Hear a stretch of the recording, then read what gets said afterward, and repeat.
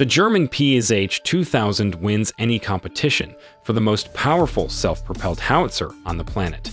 Although the initial plan of the German armed forces was to acquire 1,254 howitzers in 1996, this number was reduced to 185 units. The PzH 2000 is fitted with a 155mm howitzer. Vehicle has a fully automatic loading system with ammunition management system.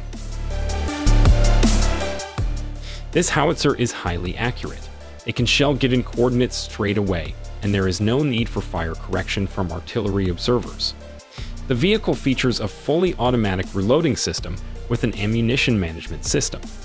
It is worth noting that just like Leopard main battle tank, the PzH 2000 was exported with great success in numerous countries, mainly in Europe.